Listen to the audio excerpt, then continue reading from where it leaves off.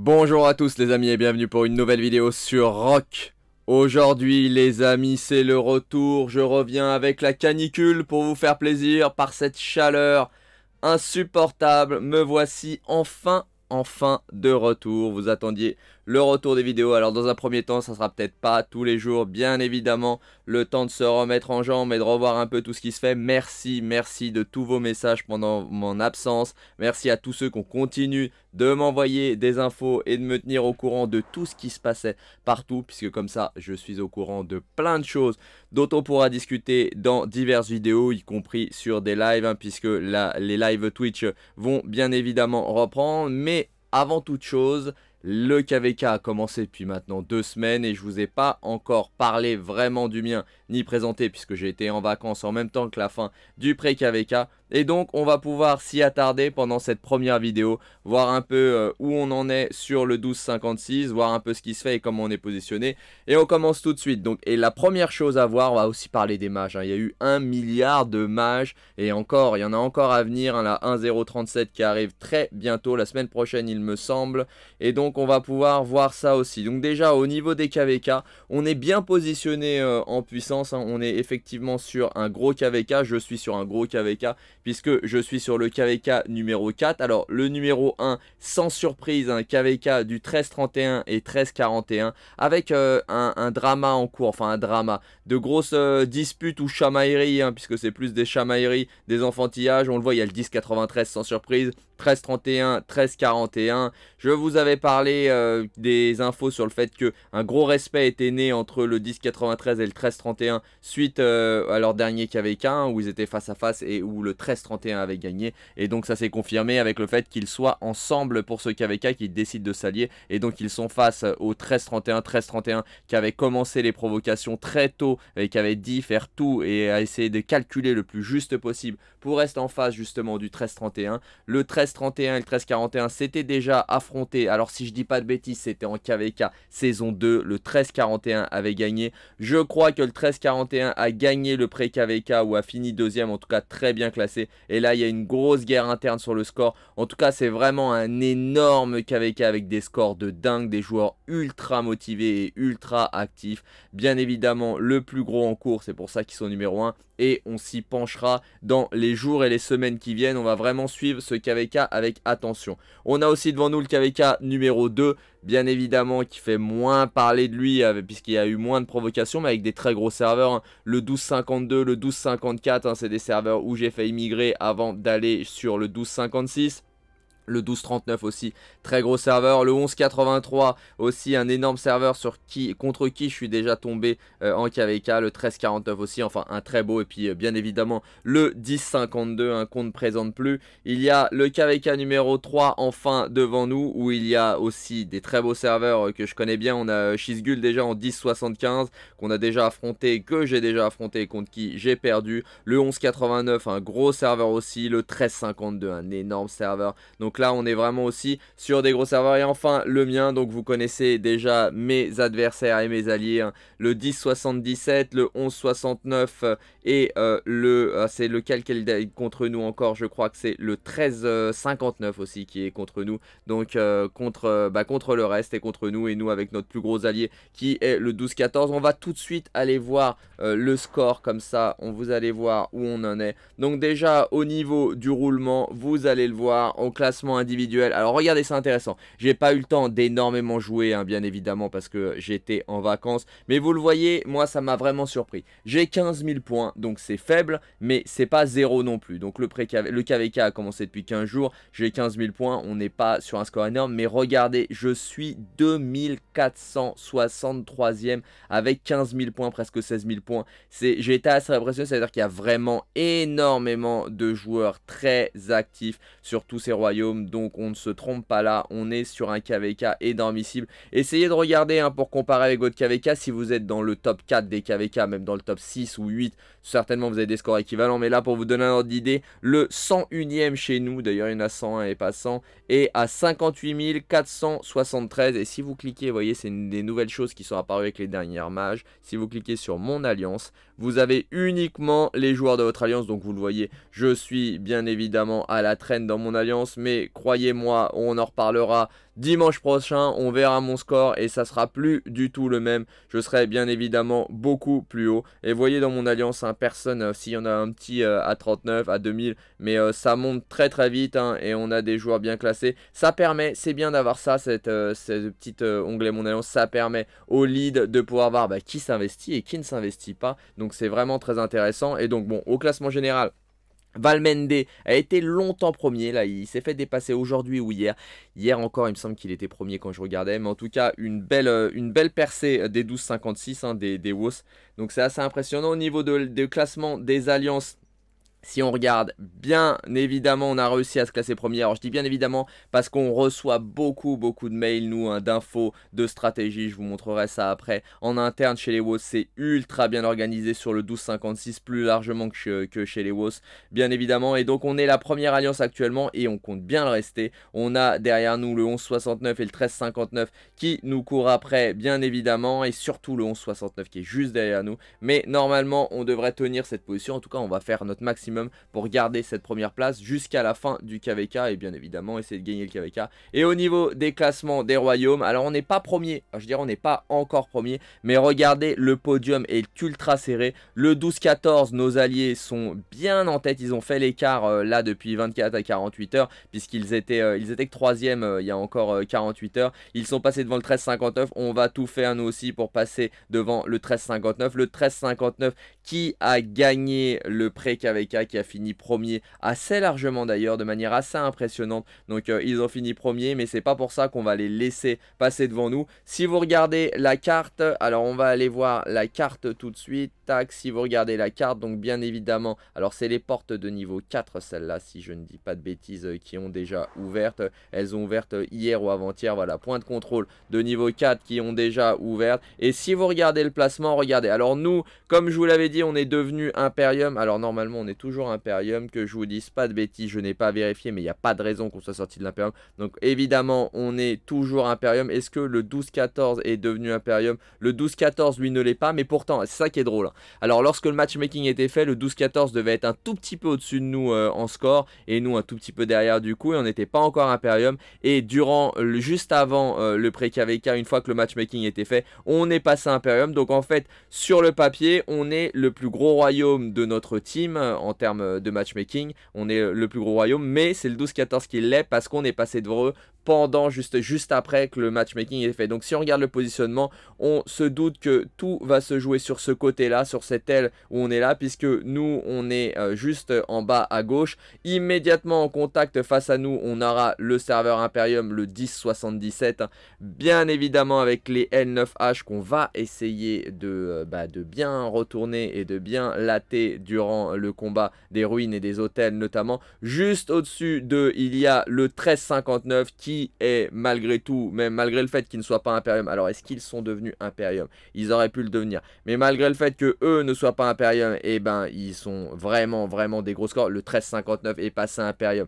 Ça m'étonnait aussi. Donc là, nous, on a deux Imperium de ce côté-là. Et euh, on les encercle avec le 12-14 donc au nord, les TOC, les SDC, les DOC, toutes ces alliances-là ultra actives. Et nous au sud. Donc quand on va arriver en terre du roi, vous vous doutez bien que la plus grosse baston va se jouer de ce côté-là, puisque sur ces deux portes-là, on va avoir deux serveurs Imperium qui vont sortir face à nous, qu'on va essayer de contenir. Et de l'autre côté, là où ça se passe pas mal pour nous euh, pour le moment, même très bien pour nous, si on regarde au niveau des forteresses croisées, donc les premiers à avoir fini la forteresse croisée, alors que je ne dise pas de bêtises, les premiers à avoir fini sont le 12-14, suivi de très près par le 13,59 et nous avons été juste derrière les troisièmes à avoir fini. Et contrairement à ce qu'on aurait pu attendre ce n'est pas le 10,77 euh, donc l'autre Imperium qui est avec les L9H et les FCN qui ont fini euh, en quatrième position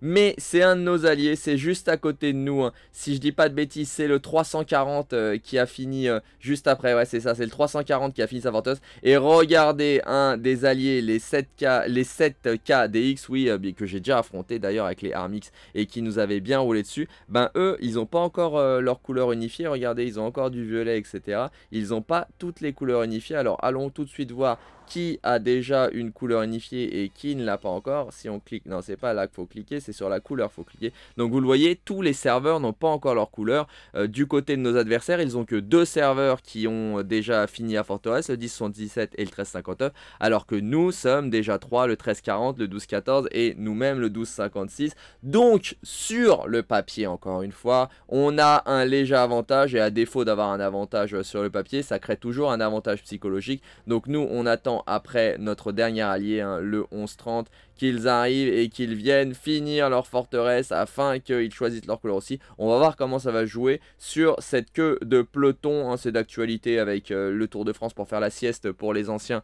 C'est de la balle. Alors en tout cas, on va vraiment être sur une grosse zone de combat comme je vous l'ai dit sur ce côté-là. Et j'espère donc au vu de son activité, normalement ça devrait le faire. On va pouvoir compter sur l'activité des 340, du 1340 pour venir nous soutenir parce qu'on va vraiment avoir besoin de soutien, je pense, de ce côté-là. Ça va se bastonner dur. Je vous disais, au niveau des emails et de l'organisation de, euh, des WoW, et même du royaume, c'est assez dingue. Pour vous donner un ordre d'idée, voilà, vous voyez, tout ça là, c'est des mails que je vous défile. C'est des mails qu'on reçoit qui nous expliquent à chaque étape. Alors, c'est pas des mails personnels, hein, c'est vraiment des mails envoyés à toute mon alliance, des mails par le roi. Vous le voyez, hein, on est sur, euh, là, on a rien que le 8-4, le 5 août, le 4 août, 5 août, 6 août, 6 août, 6 août, 6 août, 6 août, 6 août, etc. 7 août, 7 août, on en a beaucoup tous les jours où ils nous détaillent, ils nous expliquent euh, comment, ce qu'ils attendent de nous, comment on avance, etc. etc. Donc c'est vraiment assez intéressant. Alors là, on n'est pas dans la stratégie propre du KVK, on est vraiment dans la stratégie de traitement de l'event. Et franchement, je n'avais jamais été dans une alliance aussi organisée que ça. C'est un royaume au-delà de l'alliance, hein, aussi organisé que ça. Et c'est vraiment très très impressionnant. C'est vraiment une machine de guerre sur le 1256. Ce n'est pas pour rien et ce n'est pas sans surprise, euh, c'est pas avec surprise du moins, qu'ils ont gagné euh, les 4 premiers KVK qu'ils ont fait. Il y a vraiment une grosse organisation. Et là, en tout cas, ça va vraiment, vraiment être très tendu. Mais il y a un beau challenge à relever. Et je pense que si tout le monde y met du sien, ce qui va être le cas, hein, il y a peu de doutes sur le fait qu'on arrive à faire un beau KVK. Et j'espère qu'on arrivera à gagner. À gagner, justement, comme on l'a fait. Je vous l'ai montré en vidéo. Alors, évidemment, l'Osiris, euh, encore une fois que je vous ai montré en vidéo, je l'ai monté à minima parce que j'étais en vacances, je n'ai pas pu vous faire un bon montage avec une bonne bande son ou un doublage ou une explication comme je fais d'habitude. Mais en tout cas, c'était vraiment agréable comme KVK, on l'a gagné assez largement et on est sur pas mal de séries de victoires hein, consécutives. Hein. Il me semble, alors Confirmez-moi ça euh, dans les commentaires puisqu'on me l'a demandé euh, au sein de mon alliance et il me semble que c'est ça. Nous on est numéro 2 euh, en classement côté Horus des alliances suite à notre score et à nos scores passés. Il me semble que le numéro 1 est la Familia. Alors faut que je remonte avant mon arrivée sur le serveur. Voilà. Je n'étais pas encore sur le serveur. Ça date du... alors là c'est le 5 octobre si je dis pas de bêtises. Non ça date... c'est pas le 5 octobre je dis une bêtise. Ça date du 10 mai.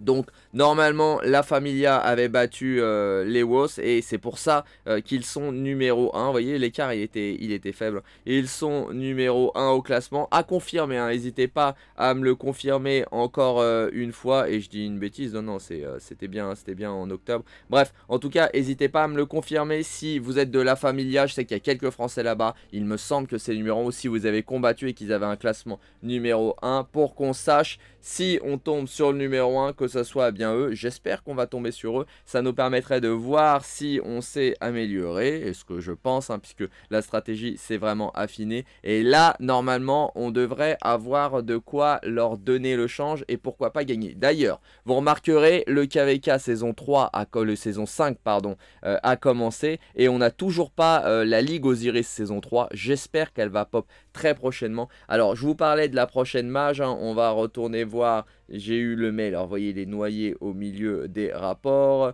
da da da, une erreur ça, je l'avais même pas vu ce mail d'erreur, vous voyez, ce mail euh, de registration nanana, l'X103 n'est pas encore, ah, donc j'en parlais justement, ça tombe bien, j'avais raté ce, message euh, qui date euh, du, 8 août, hein, donc d'hier, il m'avait échappé au milieu de tous, et ben regardez justement, dans le, le journal avait annoncé l'ouverture de la Ligue 3 d'Osiris, et c'était une erreur de leur part, ce qui veut dire que c'est dans, les cartons, ça devrait arriver à mon avis avec la prochaine maintenance. Hein. Ça aurait dû arriver à mon avis plus tôt, mais encore une fois, vu le nombre d'instabilités et de problèmes qu'ils ont eu ces derniers temps, voyez comme on le voit, hein, Sea of Fireflies, on le voit, il y, a eu, euh, il y a eu des problèmes, on va avoir des compensations. Alors moi, je ai pas encore eu. Si vous avez déjà eu la compensation, n'hésitez pas à me le mettre une nouvelle fois en commentaire. Je suis curieux de savoir qui est concerné euh, par, ces compensations et dans quel cas on en reçoit. Alors j'essaye de retrouver correction euh, des prix, voilà. On a eu ce mail là aussi que je vous avais dit, on était bien content euh, de l'avoir puisque ça était suite à leur bug de classement, ça nous a permis de récupérer pour tous ceux qui avaient fait un score de 100% en 25 étoiles, je l'ai publié dans la partie communauté de la chaîne durant mes vacances encore une fois. Ce screen, on est bien content d'avoir eu ce petit bug, hein. moi j'en veux tous les jours des bugs comme ça. J'en reviens donc à 1.037 en tenue. Donc, sur cette mise à jour là, moi je n'ai rien remarqué vraiment de très notable à part la refonte du système des équipements et des matériaux. Donc j'attends de voir ce que ça va donner, ça va vraiment être intéressant. J'ai pas mal de coffres en stock d'équipements. J'ai hésité à les ouvrir, mais je les ai pas encore ouverts. On en reparlera. Je les ouvrirai sûrement euh, demain avec vous dans une vidéo ou mardi ou durant la prochaine. Là, il y a pas mal de coffres à ouvrir, y compris euh, mes coffres de pré de pré KVK que je n'ai pas encore ouvert. Je voulais faire en vidéo avec vous. Mais excepté vraiment les, euh, choses, ajout de coffres de matériaux d'équipement et de coffres de plan d'équipement dans la boutique VIP. Vous voyez, on est vraiment sur les équipements là-dedans. L'optimisation de lumière ténèbres, donc pour la rendre plus intuitive est-ce qu'ils ont changé aussi le matchmaking? Bon, ça sera à voir hein, lors du prochain ou ceux d'entre vous qui seront au prochain. En tout cas, ce que j'ai remarqué, moi, alors je sors de ce mail-là, ce que j'ai remarqué, moi, c'est que normalement, ils alternaient pour euh, le KVK saison 2 Light and Darkness AB, AB. Et regardez, là, il n'y a plus d'alternance AB, hein, puisque les A, nous on est A, les 1077 sont A, le 1359 est A et le 1214 est A. Et ben, les 4 A sont du même côté. Alors que rappelez-vous les vidéos précédentes où je vous ai parlé du Light and Darkness saison 2, euh, ceux qui avaient commencé avant nous, on avait AB, AB et je vous disais que c'était un petit peu le bordel pour les ruines, puisqu'il fallait croiser si on voulait pas que nos, serveurs B se fasse écraser par le A, voire par l'Imperium qui est en face. Ils ont écouté ce retour des joueurs euh, Lilith, ça fait plaisir. Et donc ils ont arrêté de croiser. Et donc on a les 4 A d'un côté et les 4 B de l'autre. Donc ça c'est déjà une première optimisation. Ils n'en ont pas parlé, mais en tout cas c'est toujours très agréable de voir qu'ils ont fait ce changement là parce que c'était clairement n'importe quoi. On retourne sur le mail de la mage, la 1037. Hein. Donc euh, l'optimisation de la crise Ceroli. La crise Ceroli, je vous l'ai dit, moi j'en peux plus de cet event. On le voit tout le temps. Ils font toujours des optimisations. Lumière et TNM, on l'a vu. Les optimisations, optimisation du classement de l'event de la crise Ceroli. La crise Ceroli, correction d'un problème qui causait l'absence d'affichage de l'effet de poison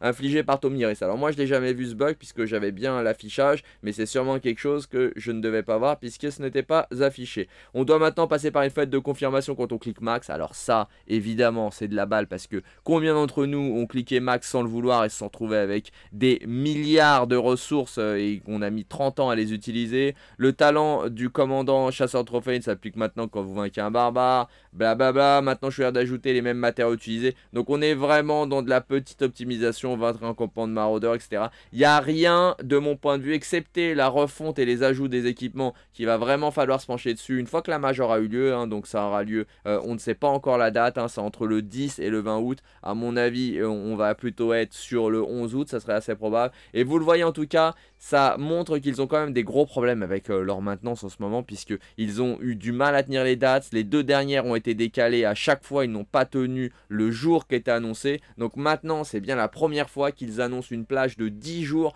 pour, euh, pour la mise à jour. Donc euh, j'ai l'impression que là, il y a quelques petits problèmes de leur côté. Est-ce que c'est des problèmes liés euh, au congé? Est-ce que c'est des problèmes liés à des difficultés de recrutement en interne? Je ne sais pas. En tout cas, et on a eu des récompenses aussi pour avoir les, le 2 millième serveur. Alors c'est intéressant parce qu'ils communiquent énormément sur le fait qu'on est de plus en plus et ils ont ouvert leur 2 millième serveur. Mais faut pas oublier qu'il y a beaucoup de serveurs qui sont désertés, où il n'y a plus personne. Donc c'est peut-être bien d'ouvrir des nouveaux serveurs comme ça, mais il faut forcer les gens à migrer, forcer dans le sens où on leur donne euh, l'obligation de migrer et on leur fait cette migration gratuite. Ça éviterait qu'on ait beaucoup de serveurs morts parce que ça me rappelle ce grand nombre de jeux où on a des serveurs qui sont totalement morts mais ils continuent d'ouvrir tout le temps, tout le temps, tout le temps sans essayer de fusionner les serveurs. Ça, ça va être quelque chose sur lequel Lilith va devoir se pencher parce qu'au final, on n'a pas plus de joueurs. Hein. La communauté, de mon point de vue, reste relativement stable. La communauté francophone, la communauté internationale, le nombre de joueurs que je vois euh, dans les stats, parce des sites spécialisés pour ça, est plutôt constante. Donc, j'ai pas l'impression qu'ils recrutent grandement euh, des joueurs. Euh, c'est étonnant qu'ils continuent d'ouvrir à cette cadence-là autant de serveurs, mais c'est sûrement du marketing. Il faudra que je demande à Lola, Lola, Lola, Lola. Donc repartons sur les commandants. Vous le savez, on a eu euh, deux nouveaux commandants légendaires. J'ai des rapports à vous montrer. J'ai le premier, j'ai pas encore, j'ai eu Guillaume premier, j'ai pas encore Chandra Gupta, mais je compte bien l'avoir lors du prochain MGE. Mon classement lors du pré KVK puisque j'ai fini sixième euh, chez les WOS euh, lors du pré-KVK et euh, il y a une, une, je dirais un challenge qui a été mis en place. Tous ceux qui finissaient dans les 15 premiers vont bénéficier de la, de la place qu'ils ont eu lors du prochain MGE où il y aura Chandra Gupta. Donc j'ai l'assurance d'avoir ce, ce commandant puisque ce sera le premier MGE suite au KVK bien évidemment puisqu'on ne bride pas le plus grand gouverneur lors du KVK. Donc j'ai l'assurance de l'avoir quoi qu'il arrive. Et j'ai eu Guillaume Ier à euh, la roue, euh, la roue de la chance. Alors j'ai hésité à le monter parce que j'ai un petit peu de, de, tête en stock, j'en ai pas de ouf. Hein. J'en ai 273. Je pourrais le monter avec 273 en 5, 5, 3 peut-être euh, si je dis pas de bêtises. 5, ouais 5, 5, 3 ça me paraît ça, 5, 5, 3, 1. Mais, pour le moment je stack. Je ne sais pas encore faire ce que je vais faire toutes ces têtes. J'ai pas fini Artemis. J'hésite encore. Hein. donc vous voyez je pourrais finir Artemis puisque pour finir Artemis il me faudrait un peu moins de 300 sculptures si je dis pas de bêtises ou un peu plus de 300 sculptures. Donc je peux pas encore tout à fait finir. Mais pour le moment, je reste là-dessus. Voilà, écoutez les amis, c'est tout pour cette vidéo de reprise. On parlera dans une prochaine vidéo euh, donc euh, des nouveaux commandants, de plus en détail euh, du patch et ce qui se fait dans les autres KVK et aussi les autres news qu'on a vu. Des rapports aussi de combat que j'ai à vous montrer avec, avec ces nouveaux commandants puisque certains ont déjà testé Guillaume Ier en combinaison face à Theodora notamment. Donc je manquerai pas de vous montrer tout ça et qu'on puisse en discuter. Je vais reprendre aussi les live Twitch, hein, comme je vous l'ai dit. Merci encore une fois de tous vos messages pendant mes congés. Ça m'a vraiment, vraiment fait très plaisir. Les amis, si vous voulez à présent nous aider à éclater le plafond des 7000 abonnés et que ce n'est pas encore fait, je vous invite à vous abonner à la chaîne en cliquant sur la cloche pour être informé de toutes nouvelles vidéos. Et surtout, surtout, surtout les amis, si le contenu vous plaît, comme d'habitude, aidez-nous à développer la chaîne en lâchant un énorme pouce bleu. Vous le savez, ça fait très très plaisir et je vous en remercie vraiment énormément. Je vous souhaite un bon jeu à tous, prenez soin de vous, faites bien attention à vous et je vous dis à plus sur Rock.